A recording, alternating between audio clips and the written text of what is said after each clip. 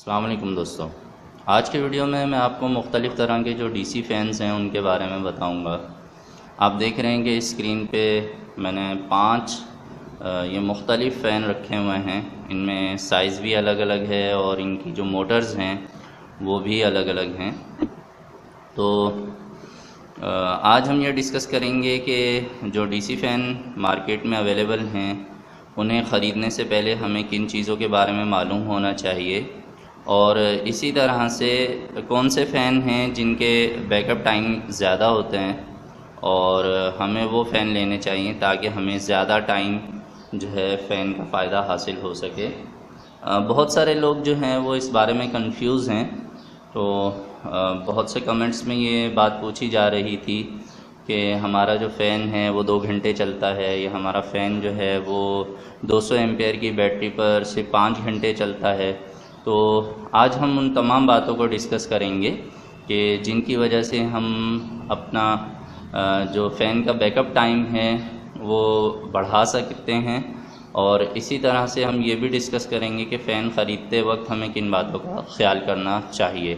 तो आइए शुरू करते हैं। ये जो दो आप फ़ैन देख रहे हैं इन दोनों फैंस को अगर हम गौर से देखें तो बज़ाहिर इनमें सिर्फ़ कलर का फ़र्क है। जो ये राइट साइड वाला फ़ैन है इसमें और जो ये हमारा पिंक कलर का लेफ़्ट साइड वाला फ़ैन है, इसमें अगर आप देखें तो इसके जो फ़ैन के ब्लेड्स हैं, यानी जो पर हैं, वो भी सेम हैं और इसका जो साइज़ है वो भी बिल्कुल सेम है। तो इन दोनों में बेसिकली हमें क्या चीज़ चेक करनी होती है? क्योंकि मार्केट में जब हम जाते हैं तो एक ही तरह के एक ही डिज़ाइन के बहुत सारे फ़ैन रखे होते हैं और उनके प्राइस भी अलग अलग होते हैं, उनकी कंपनी के नाम भी अलग अलग होते हैं। अब गुजरावाला के बने हुए बहुत से डीसी फ़ैन भी मार्केट में मिलने लग गए हैं। तो सबसे पहले मैं आपको इनको चेक करने का जो तरीका है उसके बारे में बता देता हूँ कि जब भी हम फ़ैन लेंगे तो हम क्या चीज़ चेक करेंगे। बाज़ार ये दो फ़ैन बिल्कुल एक जैसे हैं। लेकिन जो है जो हमारा राइट साइड वाला फ़ैन है इसकी हवा कम है इसकी स्पीड कम है और जो हमारा ये लेफ़्ट साइड वाला आ, पिंक कलर का और ग्रीन परों वाला फ़ैन है इसकी स्पीड भी ज़्यादा है और आ, इसके प्राइस भी थोड़े से ज़्यादा हैं। तो वो क्या फ़र्क है? तो बेसिकली सबसे पहले हम अगर इन्हें पीछे की तरफ़ से देखें तो आप देख सकते हैं कि इसमें ये एक डीसी मोटर लगी हुई है। इसकी जो डीसी मोटर है, उसका साइज़ आप गौर से देखिए। उसके डिज़ाइन को भी आप गौर से देखिए। और ये जो दूसरा फ़ैन है, अब इसे देख लेते हैं।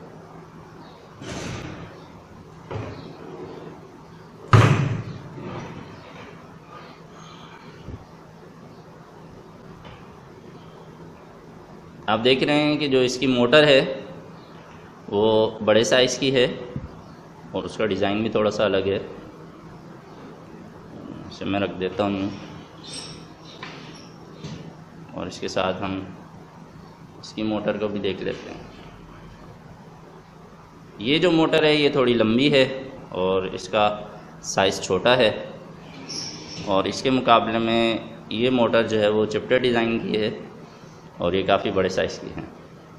बेसिकली ये जो ब्लैक कलर की आप मोटर देख रहे हैं, ये जो गाड़ियों का रेडिएटर होता है, उसके साथ जो फ़ैन चल रहा होता है, ये उसके फ़ैन की मोटर है। और ये पहले मैं आपको चला के दिखा देता हूँ और फिर मैं इनके बारे में मज़ीद आपको बताता हूँ।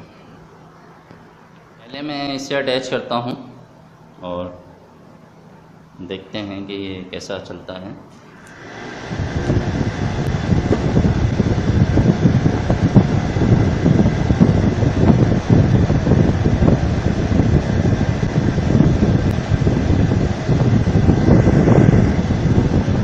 से हटा लेता हूँ।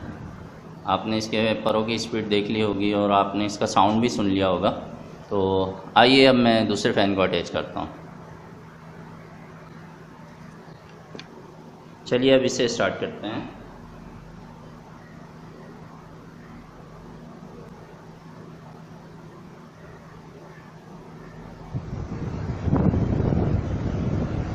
आप इसकी भी स्पीड देख रहे हैं।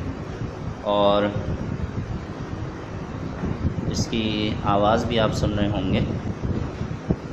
तो अगर आपको थोड़ा बहुत फ़र्क महसूस हो रहा है तो मैं अब आपको बताता हूँ कि बेसिकली इन दोनों में, असल में क्या चीज़ है जो फ़र्क करती है। ये जो पंखा है वाइट वाला फ़ैन ये आप इजीली एक 50 एम्पेयर की बैटरी पे आराम से 20 घंटे तक चला सकते हैं। और ये इतना ज़्यादा बैकअप टाइम क्यों देता है? तो इसका रीज़न ये है कि इसमें जो लगी हुई मोटर है, वो सिर्फ़ दो एम्पेयर लेती है। मैं आपको ये चीज़ क्लैम मीटर के ज़रिए भी अभी दिखाता हूँ।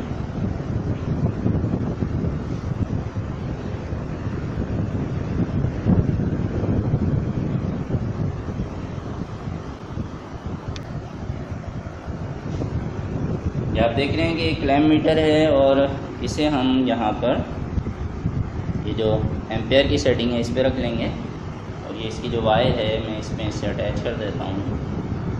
और अगर हम इसे देख सकें कैमरे पर तो आप देख रहे हैं कि ये 1.7 1.6 शो कर रहा है।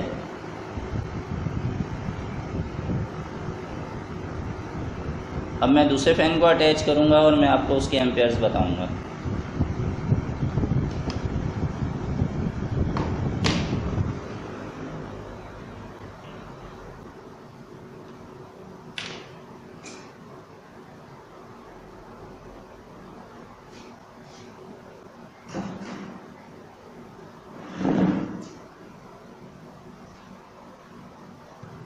जी, मैंने ये पिंक फ़ैन दोबारा रख लिया है, जिसके बारे में मैं ये कह रहा था कि इसकी जो मोटर है, वो 10 एम्पेयर लेती है।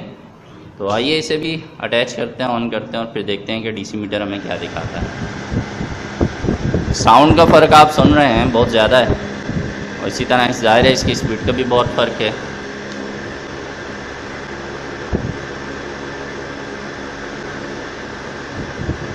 तो सात अशारिया छः और सात अशारिया सात आप देख रहे हैं कि ये फ़ैन ले रहा है। मैं इसे बंद कर देता हूँ।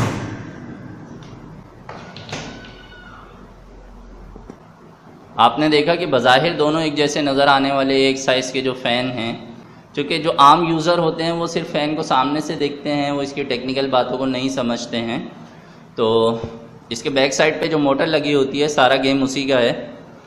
तो अगर हम फ़ैन ख़रीदते वक्त इस बात का ख्याल कर लें कि जो मोटर है, वो कम एम्पेयर लेती है और उसकी स्पीड ज़्यादा है तो हमें बहुत फ़ायदा हो सकता है। इस तरह से हमारा जो बैकअप टाइम है, वो काफ़ी ज़्यादा बढ़ जाता है।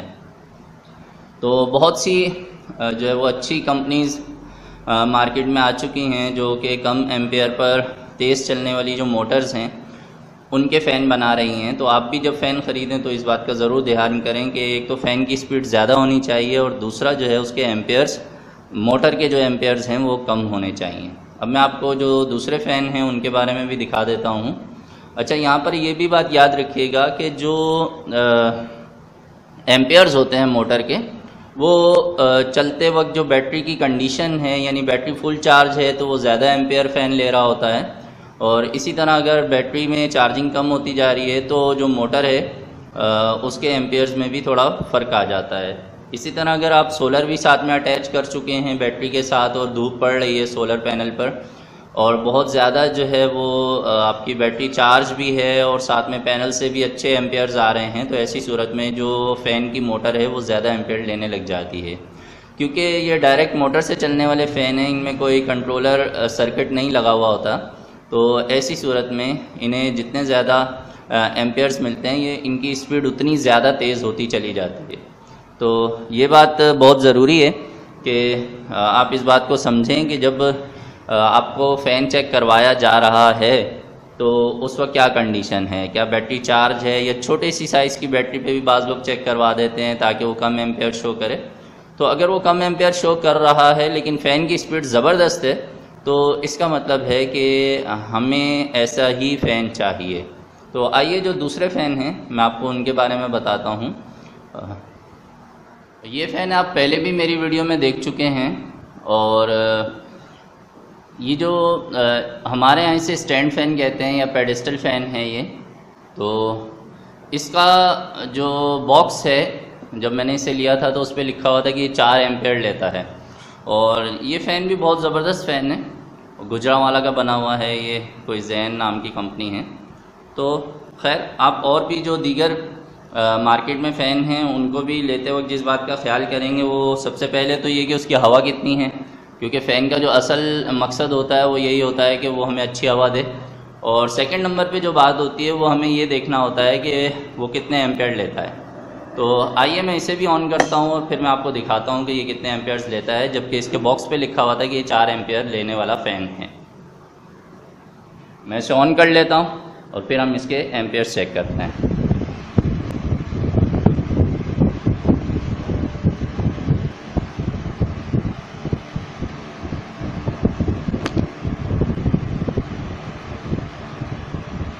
आ, मैं मीटर को थोड़ा सेट कर लूँ।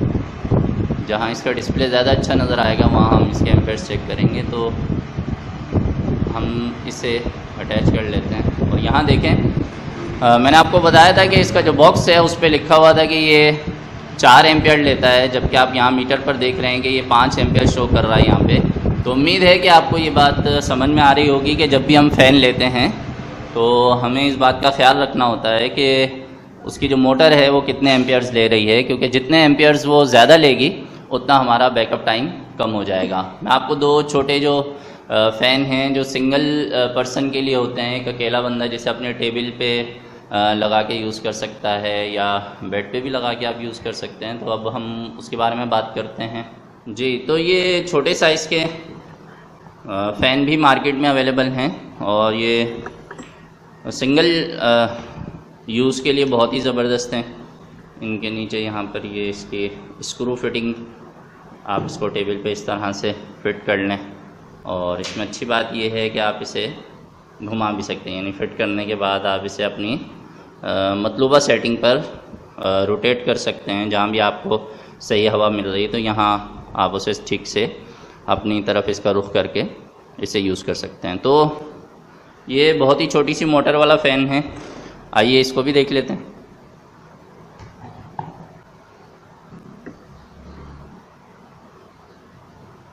इसके बैक साइड पे ऑन ऑफ़ का बटन भी दिया हुआ है। तो ये मैंने ऑन कर लिया है। तो सिंगल यूज़ के लिए जैसे ख़वातीन किचन में काम कर रही होती हैं तो वहाँ किसी मुनासिब जगह पे इस फ़ैन को लगाया जा सकता है, या अगर आप कंप्यूटर पे काम कर रहे हैं, ठीक है तो ये वहाँ भी लगा सकते हैं। और अगर आपका कोई घर में छोटा बच्चा है, वो सो रहा है तो उसकी तरफ़ रुख कर कर भी ये एक फ़ैन जो है वो काफ़ी जो है वो अच्छी हवा देता है। तो इसके एम्पेयर्स कितने हैं? देख लेते हैं।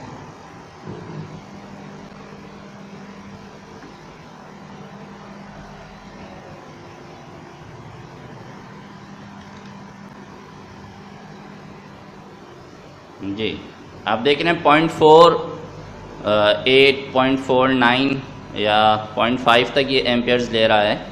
तो इसका मतलब है ये सिर्फ़ हाफ़ एम्पेयर आधा एम्पेयर ले रहा है। तो इसे तो आप बेफिक्र होकर चला दें और ये बैटरी को बिल्कुल सूंघेगा। जैसे हम हम बाइक में बात करते हैं कि ये बाइक की एवरेज बहुत अच्छी है पेट्रोल को सूंघती है ये। तो बिल्कुल इसी तरह ये बैटरी के जो एम्पेयर्स हैं उन्हें सूंघेगा, सिर्फ़ हाफ़ एम्पेयर का फ़ैन है। तो आइए एक दूसरा जो फ़ैन है उसके एम्पेयर्स भी चेक कर लेते हैं।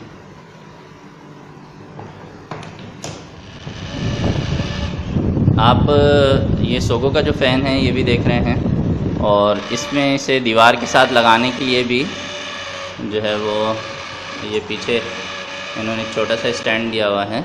आप इसे दीवार के साथ फिट कर सकते हैं। मेरे इस्तेमाल में अभी तक जितने भी डीसी फ़ैन आए हैं उनमें मुझे लगता है कि ये सबसे लो क्वालिटी का फ़ैन है क्योंकि इसमें से दो फ़ैन मेरे पास ख़राब भी हो चुके हैं। और उसके अलावा जो है वो आ, ये बहुत ज़्यादा आवाज़ भी करता है। बाज़ात इसका जो पर है यानी जो इसके फ़ैन ब्लेड्स हैं फ़ैन का जो ब्लेड है वो भी इस फ़ैन का एक प्रॉब्लम ये है कि ये बाज़ात बहुत शोर करने लग जाता है।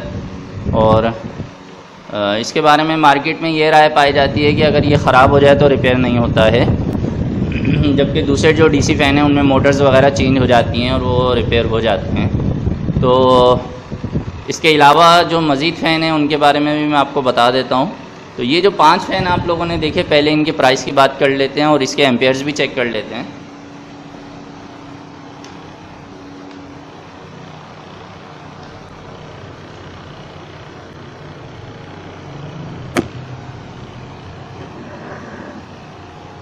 अगर आपको नज़र आ रहा हो तो ये 2.9 यानी तकरीबन तीन एम्पियर ले रहा है। तो इस लिहाज से ये बिल्कुल भी अच्छा नहीं है, क्योंकि बहुत छोटा साइज़ है और बहुत ज़्यादा एम्पियर्स ले रहा है। तो उम्मीद है कि आपको ये बात भी समझ में आ गई होगी कि फ़ैन को लेते वक्त हमें क्या ख्याल रखना है और क्या जो है वो हमें एहतियात करनी है। अब इनकी कीमतों की बात कर लेते हैं। ये जो छोटा, सबसे छोटा फ़ैन है जो आपने देखा ये मार्केट में तकरीबन चार सौ पचास रुपये का अवेलेबल है। ये साढ़े चार सौ रुपये का फ़ैन है जो कि हाफ़ एम्पेयर लेता है और ये बेस्ट है। क्योंकि आप की जो बैटरी का बैकअप टाइम है वो इस पर आपको भरपूर मिलेगा। और इसके बाद हमने ये जो आ, ये फ़ैन है सोगो का तो ये इसकी जो मार्केट प्राइस है वो इस वक्त ग्यारह सौ रुपये चल रही है गर्मियों में। और यही फ़ैन जब मैंने कुछ अर्सा पहले सर्दियों में लिया था तो इसकी फ़ैन उस वक्त इसकी सॉरी प्राइस जो है वो नौ सौ रुपये थी। तो ये एक नौ सौ रुपये का फ़ैन है। सीज़न में ज़ाहिर है तमाम चीज़ों के रेट जो है वो अप हो जाते हैं। तो मज़ीद जो दूसरे फ़ैन हैं, उनके बारे में मैं आपको बता देता हूँ। जो स्टैंड फ़ैन है या पेडिस्टल फ़ैन जिसे कहा जाता है तो इस फ़ैन की कीमत मार्केट में इस वक्त तीन हज़ार रुपये चल रही है। और आउट सीज़न में, यानी अगर आप सर्दियों में यही फ़ैन ख़रीदेंगे तो ये आपको तकरीबन पच्चीस सौ रुपये तक का मिल जाएगा। और ये जो दो एक जैसे फ़ैन मैंने आपको शुरू में दिखाए थे ये जो राइट साइड पे पिंक फ़ैन है, इसमें बड़ी मोटर लगी हुई है, तकरीबन 10 एम्पेयर तक की। और ये जो वाइट फ़ैन है, इसमें दो एम्पेयर की मोटर लगी हुई है। तो ये जो फ़ैन है ये ने, ये मैंने मार्केट से तेरह सौ रुपये का परचेज़ किया था। और ये जो दो एम्पेयर वाली मोटर वाला वाइट फ़ैन है, इसकी कीमत मार्केट में एक हज़ार रुपये है। तो इसके अलावा जो मज़ीद फ़ैन है, मैं आपको वो भी दिखा देता हूँ। और उनके भी हम बारे में कुछ बात करें चाइना मेड, ये फ़ैन मार्केट में बहुत ज़्यादा चल रहे हैं और ये फ़ैन हमने काफ़ी ज़्यादा तादाद में इस्तेमाल किए हैं। एक मस्जिद में हमने ये फ़ैन लगाए थे तकरीबन दस के करीब और उसके अलावा जो है वो कई दोस्तों के घरों में मैं ये फ़ैन लगा चुका हूँ। इसका रिज़ल्ट भी बहुत ही ज़बरदस्त है। ये सिर्फ़ ढाई एम्पेयर लेता है। इसका मतलब ये है कि आप इसे बहुत अच्छी जो है वो बैटरी बैकअप टाइमिंग के साथ यूज़ कर सकते हैं। तो ये पूरे कमरे के लिए काफ़ी होता है। अच्छा यहाँ मैं एक बात की वजाहत कर दूँ कि ये जो फ़ैन है, यानी ये जो छत का पंखा है डीसी में इसके अंदर पूरा सर्किट लगा हुआ है और अगर आपने इसकी तारें उल्टी लगा दी, यानी प्लस और माइनस या पॉजिटिव और नेगेटिव का ख्याल नहीं किया तो ये पंखा जल जाएगा। क्योंकि इसमें सिर्फ़ मोटर नहीं है, बल्कि उसके साथ एक पूरा इलेक्ट्रॉनिक सर्किट मौजूद है। तो इसके मुकाबले में ये जो दूसरे हमारे फ़ैन हैं जिनमें सिर्फ़ मोटर लगी हुई है और इनके अंदर जो है वो कोई सर्किट नहीं है। तो इन्हें, इनकी तारें उल्टी लगाने की सूरत में ये पीछे की तरफ़ हवा देने लग जाते हैं, उल्टा घूमने लग जाते हैं, ये ख़राब नहीं होते हैं। लेकिन ये जो हमारा छत का फ़ैन है तो इसमें चूँकि पूरा इलेक्ट्रॉनिक सर्किट मौजूद है तो अगर आपने इसे जो है वो गलत कनेक्ट कर दिया तो ये ख़राब हो जाएगा। तो इसकी जो कीमत है वो, जब मैंने इसे सर्दियों में ख़रीदा था तो ये हमें तकरीबन तीन हज़ार एक सौ पचास रुपये का मिला था। और अभी गर्मियों में जब हम यही फ़ैन लाए हैं तो ये तीन हज़ार पाँच सौ रुपये का मिला है। तो मेरा भी यही मशवरा है आपको कि आउट सीज़न में चीज़ें ख़रीदा करें। जैसे अगर आप फ्रिज को सर्दियों में ख़रीदेंगे तो आपको सस्ता मिलेगा, और गीज़र को गर्मियों में ख़रीदेंगे तो वो आपको बहुत सस्ता मिलेगा। तो मैं उम्मीद करता हूँ कि आपको ये जो आज की वीडियो है, इसमें फ़ैन के बारे में कुछ नई मालूम मिल गई होंगी। और आ, मैं आपसे ये रिक्वेस्ट भी करता हूँ कि आप मेरे इस चैनल को सब्सक्राइब कीजिए। मेरी वीडियोस को अगर आपको अच्छी लगती हैं तो ज़रूर लाइक किया करें। इससे मेरी हौसला अफजाई होती है। और इसी तरह से अगर आपको लगता है कि ये इन्फॉर्मेशन काम की है तो अपने दोस्तों से मेरी वीडियोस को शेयर भी कीजिए। आपके जहन में कोई भी सवाल आता है किसी भी किस्म का तो आप कमेंट्स में लिख सकते हैं। मैं पूरी कोशिश करता हूँ कि मैं तमाम जो मेरे सब्सक्राइबर्स हैं उनके कमेंट्स के जवाब दे सकूँ। तो मिलते हैं इन नेक्स्ट वीडियो में।